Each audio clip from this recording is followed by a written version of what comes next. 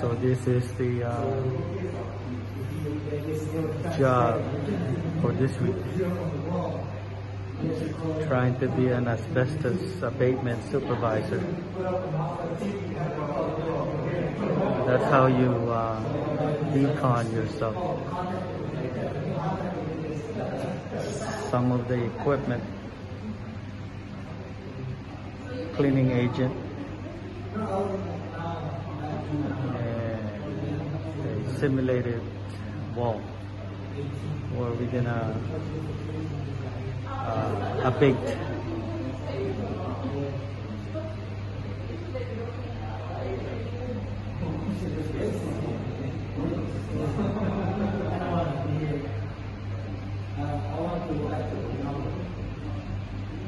So, in a nutshell, we're learning this week.